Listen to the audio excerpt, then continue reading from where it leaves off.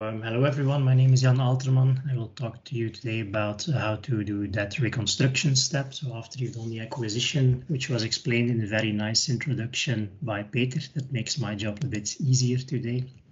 So where we are at right now in the story is that we have just finished our acquisition. We have shown X-rays through our sample and we have acquired what we call uh, a set of projection images and then usually the next step is to take that and transform that into a 3D representation of that object where you can look inside that object and that's a reconstruction step. Now, very often that is um, a bit forgotten or taken for granted. You you load your projections into software, you click reconstruct, and you get your reconstruction. There's actually a number of nuances to it, and that's what I will uh, will focus on today: nuances and the options that uh, one has when doing reconstruction. Um, and I will do a sort of a chronological overview starting in the 1970s with what is still the most common technique that is used to reconstruct um, CT data, and that's called, or that's part of the family of analytical reconstruction methods.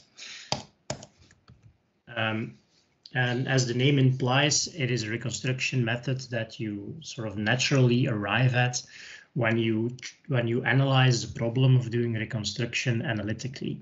And I will try to give you some insight as into how this works.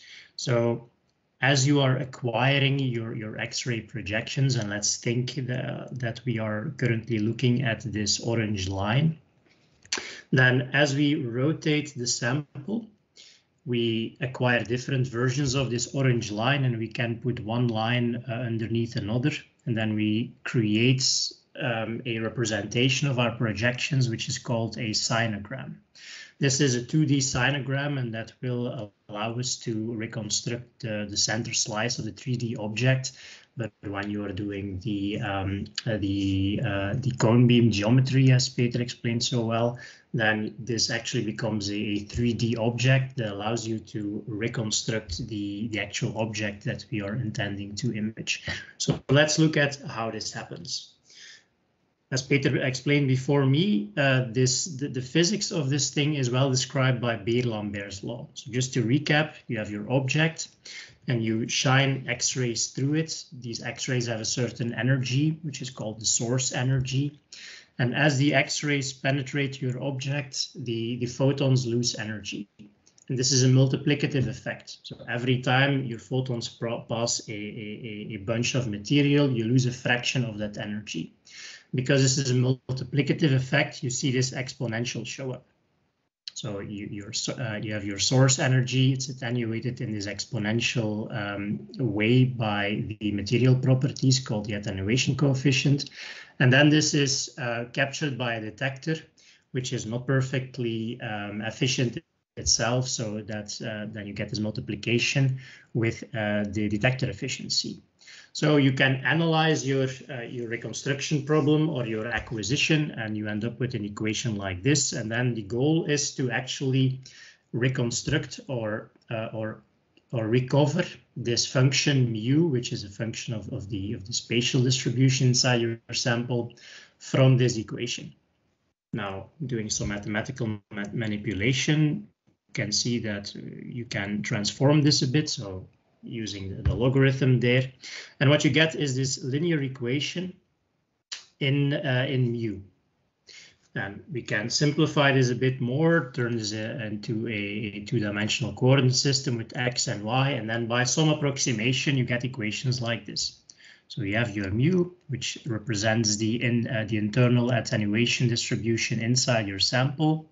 And what we get are these projections, which is just the, um, the integration of, of this mu along a line. And now the question that reconstruction answers is, how can we calculate this mu from the set of projections? This question has been answered in the early 20th century by a guy called Johann Radon, which is a name that, that you may have heard before. Uh, and, and he made this mathematical theory stating that if you have these integrals through objects, which are which are a consequence of the of the Beer-Lambert's law of acquisition, um, then in some cases you can do this reconstruction. And a very neat way, I think, of, of analyzing that is through a, a different great scientist, is uh, through uh, um, uh, Jean-Baptiste Fourier, who a bit earlier in history analyzed a similar um, framework of uh, analyzing functions through their integrals. Because what he invented is called the Fourier transform. And that is a framework that allows these functions, mu, to be analyzed in terms of their Fourier coefficients. So what you're doing is you're taking a function and you're analyzing it in terms of the of the sinusoids that make up the function. Another way of looking at this is saying that instead of looking at individual pixel values, you're looking at the waves that when you add them together, they make up your, um, your image or your sample. And the neat thing about this is that these, the seemingly complex transformation um, is reversible. You can jump between the image domain, which is the reconstruction that you're trying to make, and the Fourier domain just by applying this transform. Um, and in fact, if you analyze this a bit more, and you fill in the uh, if, if you fill in the the right numbers here for example if you say that uh, ky and uh, kx are zero then you see that you actually get an integral that is identical to the projection equation so right away through this Fourier principle we can see that there are there's actually an, an, an analogy between um, between this transform of going between image and Fourier domain and the projections that we were doing. And um, that's that's really neat because knowing that this Fourier transform exists means that instead of thinking about a, an image space that we need to cover, finding a value for every pixel, we can also think about filling the Fourier space, finding a value for every spatial frequency component for every wave that makes up your image. And that's really equivalent. Painting your, your spatial domain is the same as painting your Fourier space. Um, that would mean that we have achieved analytical reconstruction. So let me make that a bit more tangible for you. Because of all this mathematics, we get the fact that as you um, project through your sample along these lines, you get you you get one line of your projection sinogram. That is equivalent to one line in your Fourier space. Of course, one line is not a full Fourier space. We need a full Fourier space to get an image. Luckily, we rotate our sample, so we get lines along all kinds of different directions. Well, that is also equivalent to acquiring different lines in Fourier space, and we can just add them all together. And as we are doing that, you can see that by rotating around your sample, eventually you, uh, you cover the entire Fourier space. And so you have acquired the full Fourier space that represents your image. That means you can reconstruct your image by doing the inverse Fourier transform. So hooray, at this point we have invented an, an analytical reconstruction methods we take the lines we acquire in spatial domain, we go to Fourier domain, we plug them in, and we run the inverse Fourier transform. That will work. It is a bit mathematically uh, complex for the computers of the 1970s, but luckily people realized at that point that there is an analogy. You don't actually need to go to the Fourier space to run this procedure because painting all these lines in an overlapping fashion in Fourier space turns out to be equivalent to a very simple operation in the image space. And that operation is called back projecting. So what is back projecting all about? Let me explain here. So suppose you have this red dot in the middle of your sample and you uh, you you project uh, your x-rays through it, then the signal you acquire has this uh, can be thought of as having this peak here in the middle where the red dot is back projecting, so that's equivalent to going to Fourier space and, and in painting the Fourier space, uh, is equivalent to taking that peak and smearing it, smearing it out along the direction that your x-rays were acquired. Doing that for every direction is equivalent to this Fourier trick that I explained. And as you can see in the center now, there appears a peak, which is actually where your circle is. So hooray, we have achieved reconstruction and this is the reconstruction that you get. And right now we realize uh, that's actually not perfect. because this seems to be a very blurred version of that uh, circular object or that uh, that cylindrical object that we were intending to image. So that's actually not good. What is actually the problem here? Well, that problem can be also be analyzed in Fourier space because I was I was mentioning before what we need to do is equivalent to fully inpainting this Fourier space. And if you've ever done some uh, house painting, uh, just look at this. This this does not look like a nice even coat of, coat of paint. In fact, the coat of paint is much thicker in the center of the Fourier space. Why? Because you have went over that uh, uh, much more often than you went over the periphery with your paintbrush. We call that a density variation. In fact, in doing this back projection procedure, yes, you have covered the entire Fourier space, but you have covered the center with too high a density. And so if you want to get an image that looks nice and crisp, you need to account for this density variation. Um, so this is what you would get if you don't account for the density variation in a medical context. And if you account for it, which can simply be done by calculating this density and multiplying in Fourier space, then you get a nice, clean, crisp image. And the signal processing people among you might know this, this theorem, but multiplication in Fourier space, so multiplying with the inverse of the density, is actually equivalent to filtering in the image space. So that would be equivalent to filtering these lines of data that we get.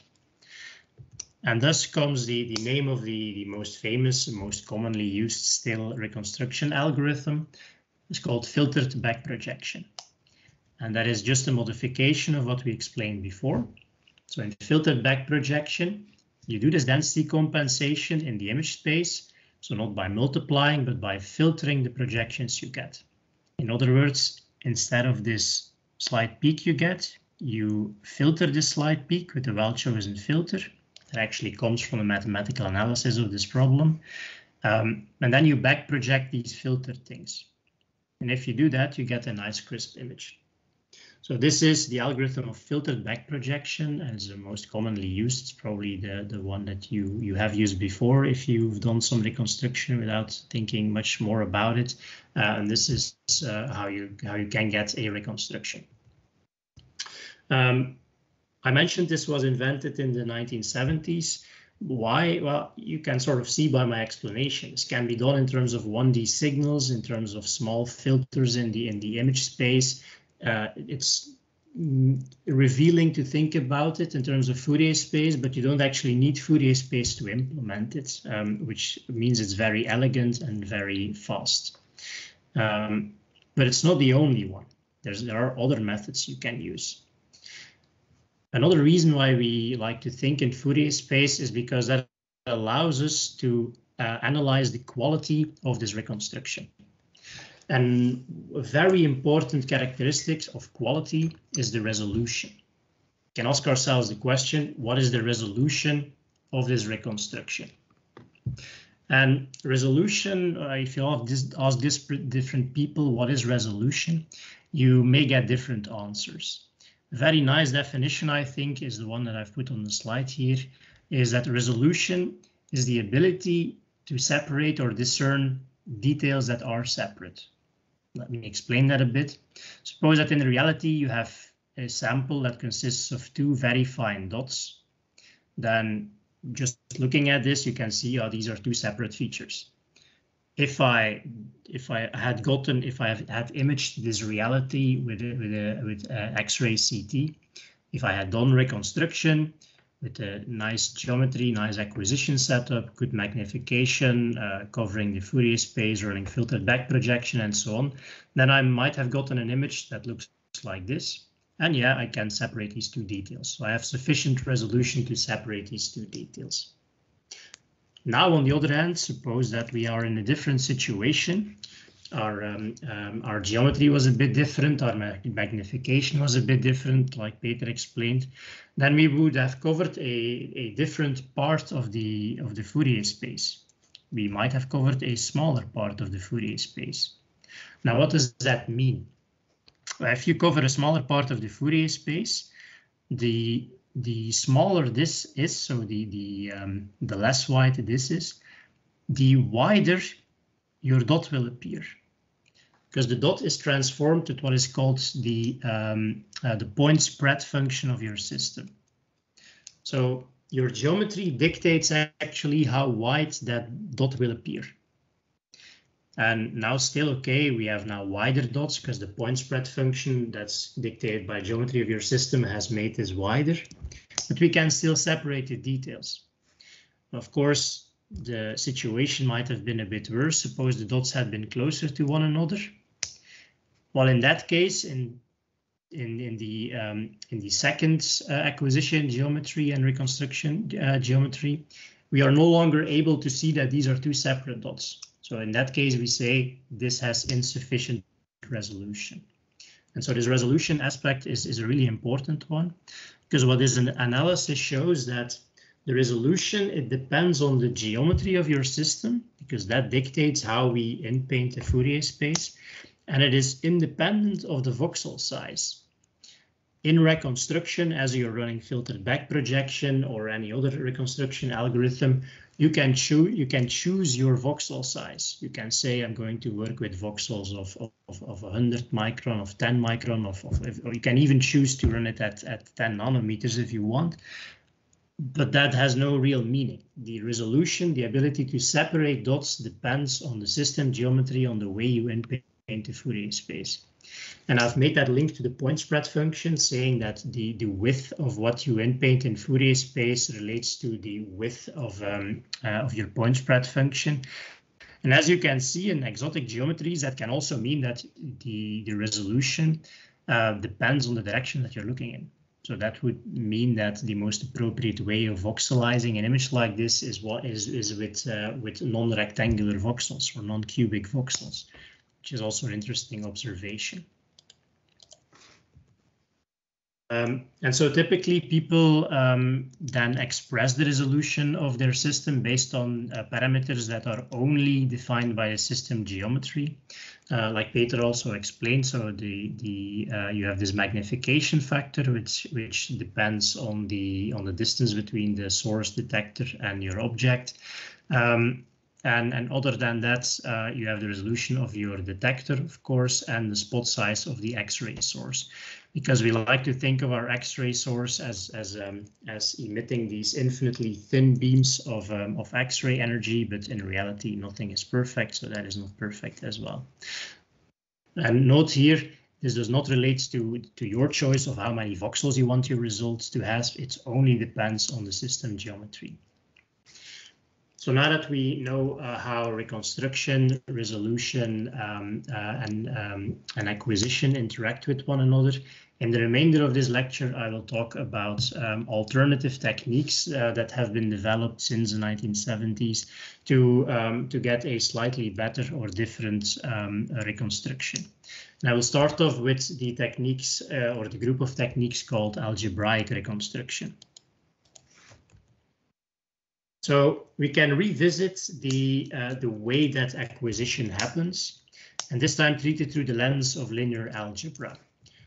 So as we do the, the Beer-Lambert thing again, so we, we shine uh, photons through our sample, we see how they are attenuated. We can relate the values we get in our, um, in our projection to the values uh, that we want to reconstruct from the inside of a sample and since this is a, this is since we converted this in a linear equation, we might just as well do it using matrix algebra. So essentially saying that the value we get at i at at uh, at y1 is actually related to the sum of the attenuation values along this line. These are some of the values in x, which are the attenuation values in our sample. And the values that we actually traversed, we, we flag with a 1, and the values that we haven't traversed, we flag with a 0.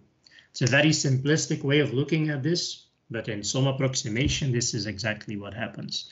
You can do this for the other lines in your sample as well, and thus you create a matrix. This, uh, this is sometimes called the acquisition matrix. And so now asking the question, how can we do reconstruction from the data Y? So how can we do reconstruction from uh, the projections? Uh, is the same as asking how can we invert this system of linear equations? How can we invert this matrix to get x from y? And well, there's, a, there's quite a, a, straightforward answer to this. This has been studied also in the 20th century. Uh, you can do this using the, uh, the inverse matrix. Usually this matrix is not square, so you use something called the pseudo-inverse matrix um, thus solving the inverse problem. And this uh, is an alternative way of looking at it. It's equivalent in, in many ways to the analytical um, analysis that I've explained in the beginning of this lecture. Um, and it highlights some of the same issues that that one wants to get around. So for example, here you have this matrix inverse. Now, nobody guarantees you uh, that in a general sense, this matrix is invertible it may in fact have zero eigenvalues. In that case, it means that you have insufficient data to reconstruct your image. Um, and but if you have sufficient projections, that will not happen. So the same issues that Radon and Fourier were, were tackling um, are issues that, that you see pop up in this analytical analysis of the problem as well. Now, doing this um, matrix inversion explicitly means that you need to invert a matrix that is uh, a few millions by a few millions. That's never something you do explicitly, uh, especially not in the uh, 1980s, 1990s, and so on, because computer power was not where it is right now. And so people, they think about this, but they don't implement this, and people have implemented approximations of this. You can do a gradient descent for sure. But the most common uh, way of doing it is, is by using an approximation that allows you to, to do this updates iteratively. So by updating your image many, many times, each time getting you a little bit closer to the, uh, to the eventual solution that you want to obtain. And by doing this, uh, not by the not using the entire matrix at once, but using lines in the matrix. And so you update this very many times and eventually you get an approximate solution to the system of equations. This is called the algebraic reconstruction techniques. There's many flavors here, um, and it was first described by a guy called Stefan Kaczmarz, which is why it's sometimes called the Kaczmarz iteration. Um, so this is an alternative. Um, it's inspired by this numerical approximation of matrix inversion. There's many flavors, but because of the fact that it is iterative, it is typically slower. And so you might want to ask the question, why should I even consider it if you say it's slower? Um, and yeah, at this point, we reach a sort of a, an engineering question. We have these different alternatives. Which one should we use? And if there are other alternatives, which one should we use in that case? And to answer that question, we need to look at um, uh, estimation theory uh, because estimation theory will give us the answer as to which algorithm is better than another in, in a pure uh, reconstruction sense. And so taking a step back to our um, algebraic analysis of the problem, what we intended to do was to solve this system of linear equations. What we intended to do is to invert this matrix. But actually, we can ask the question, should we do this? Because this assumes that as you do acquisition, you get a, your data is perfect. You get a perfect projection of your data. But nothing in science and engineering is perfect. There are there's things like noise, um, uh, statistical fluctuations in, in your photon distribution, and so on. So nothing is perfect. And if the data is not a perfect projection, then why should we even go for a perfect equality in this equation? And you might already feel where I'm going with this. If there are statistical fluctuations, well, then we need to turn to statistics and estimation theory to get to uh, to get a proper answer to how we should reconstruct this. And people have done this as well. So people have have um, have said, okay, we are now no longer going to describe the relation between the projection data and our image in an absolute sense. We're going to define it in a probabilistic sense. So for example, they say if our image is known, if our image is X, then our data now follows a normal distribution, so a Gaussian distribution. Um, And uh, the mean of that Gaussian distribution is actually the projections of our X, and it has some covariance matrix sigma. Okay, that's a, a reasonable assumption. Usually when people don't know how to proceed with statistics, the first thing they try is they say, let's assume a normal distribution. And that's fine because using that model, now you can um, you can define a so-called estimator. You can estimate the uh, the most likely x that uh, that has given rise to uh, to the data that you're observing. That's called a maximum likelihood estimator. Um, and doing the mathematics here will give you the equation you see at the bottom. And that is actually very close to what we've seen before, this matrix inversion solution, the pseudo inverse. Only now it has this, uh, this covariance matrix in there as well. And so that, that teaches us a few things. First thing it teaches us is that the, uh, the algebraic reconstruction technique is actually um, has a root in estimation theory. So it, it assumes essentially that, the, that this distribution is a true approximation of reality. In other words, that there is Gaussian noise on our data. It's a fair assessment. And also it assumes that this Gaussian noise has a unit variance, because as you see, this covariance matrix has gone, which is also a reasonable assumption that is often made in practice. Note that this uh, analogy does not hold for the uh, filtered back projection. In fact, you can do the same analysis, but that will lead us too far. Um, and, and it will show that filtered back projection uses a, a, a, much less realistic model of reality. And that is why you often see more noise in, in reconstructions made by filtered back projection. Um, okay, and people have even took, taken this a step further because why should you even so assume a normal distribution. You can also uh, look into the physics a bit more and realize that the, especially when, when you have a low flux, that the distribution of your data is, is more akin to a Poissonian distribution. And then you can do exactly the same mathematical exercise with some approximation, and it will also give you a, a, a an algebraic construction algorithm. Um, for example, uh, there's uh, there's a nice paper about this um, from a while back already. Um, and the images I'm showing here on the slide show you the effect that this can have. So on the left, you see a density phantom. So it's, it's just a cylinder with, with four cylinders inside. If you just do the default filtered back projection that most people use, you get the image in the middle here. And if you use this uh, this uh, this algorithm rooted in estimation theory that uses a Poissonian model, you get the image that you see on the right here. So using the right model can have a, a big impact. It doesn't always have a big impact, but in the right circumstances, this has an impact. So be aware that this is a possibility that, is, that may be at your disposal. Um, now, there are still cases where you where you want to go a step further than this, because this is all about getting the most of your data out of your data. And um, in some cases, the doing reconstruction of your data will get you things that you that you didn't expect. For example, you um, um, if you just look at the uh, at, at this structure here, in between these cylinders, you see this black area.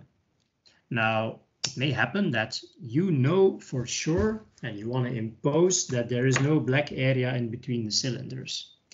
That is what we call prior knowledge. And it is possible to include prior knowledge in your statistics as well. And that is through looking at what is called the maximum a posteriori estimate. So that's saying I want to find the most probable X, so the most probable image, given the projection data that I have. It's a very intuitive way of formulating your, your reconstruction, but it is different from the maximum likelihood that I explained before. In fact, you can transform one into the other using Bayes rule, uh, which is maybe familiar to you if you've ever taken a course on Bayesian statistics. Um, and it would transform this into the into the form that we see here, saying that no longer we just want to find the most likely X that has given rise to my data, but I also want to take into account the probability of even seeing X. And that is what we call the prior because that allows us to encode some images that we really don't want to see because we know that they cannot happen. So that's called the prior distribution. Um, and there, there is an interesting analogy to be made here using uh, filtered back projection again. So filtered back projection can be thought of as using a, an inferior statistical uh, model for the for the forward problem. So an inferior um, model for the for the maximum likelihood estimator. Um, and if you think about the the filter that is used in Fourier space, it's sometimes called a ramp filter. It's, it suppresses the center density of your Fourier space and it enhances the, the outer edges of your Fourier space. And if you do that for, for an arbitrary phantom or using simulating the statistics or simulating noise, you may get an image that looks like, uh, like you see on the left here. And now people have, have realized that wow, we don't like this because we see a lot of noise there. And so they, they turn to using different filters. And often this is heuristic. So they say, ah, I will use a filter that looks a bit like this, suppressing the, the outer parts of the Fourier space. Um, and if you do that, you get an image like this. Now that is completely analogous to doing this uh, to doing this prior trick. So you're saying I know for sure that I will not have very, very quickly fluctuating structures in my image because that's probably noise anyway. So I'm going to say that a priori that that is something unlikely, and I'm going to make a filter that uh, that encodes this. So this is doing reconstruction using a different, imposing a different prior knowledge. Um, now this is a very simplistic example, but what we have seen in the past 10 years, 20 years is that um, significant advances in reconstruction have, have come from this. So for example, here's another examples from our own research is where we have uh, imposed a prior that expresses the, the temporal behavior of our sample. That takes a bit of explanation. So on the left here, we see three reconstructions of a sample which was uh, which was of a simulated um, uh, mineral material, where there is a so-called Haines jump at a particular point in time. So as you can see here, this pore, here it's white, and here it jumps to black.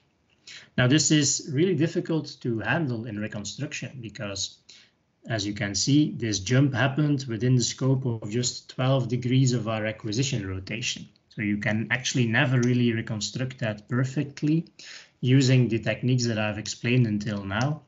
Um, and if you try anyway, you using the algebraic technique, for example, and you reconstruct these sequences, then you see that that that pore here, it's not reconstructed properly. But if you try that anyway, and you impose temporal consistency, saying that a priori your images should resemble one another, then you can get the reconstruction you see here, for example where you can resolve that pore in the middle. So this is just a, a, very brief sneak peek into what is possible if you if you tailor a particular prior distribution and have that help your reconstruction in an algebraic sense. Um, since I'm running towards the end of the lecture here. Um, I, I, don't want to um, end this lecture without at least saying a little bit uh, of uh, something about machine learning, because that is really the, the elephant in the room nowadays when you're talking about reconstruction. And that's because people have realized that if you if you feed software with with thousands and millions of examples of the image that you you like, you can uh, you can learn a prior distribution from these many images and use that in reconstruction as well. Um, here's some examples from, from a paper that, that you can look up. So if you were to do reconstruction of the sample in, in a classic way, you get uh, you get a reconstruction for sure, but you see that it's quite blurry in many regions. Whereas if you use a um, if you use the the um, uh, the machine learning here to learn what structures really look like at high resolution and apply those, you can get much sharper um, uh, reconstructions. So that is sort of where we are going to in the future of reconstruction. So that wraps up the, uh, the introduction to the reconstruction um, of, of X-ray CT data. Um, some take-home messages is that, well, it's, it's important to be aware that there are alternatives. Um, the classic filtered back projection is fine, it's fast, it works. But in some cases, if you want to if you want to beat the statistics, if you want to beat the noise floor just a little bit, you can turn to these algebraic techniques and applying appropriate prior knowledge can really elevate the quality of your reconstruction if, if that is uh, the route that you want to go.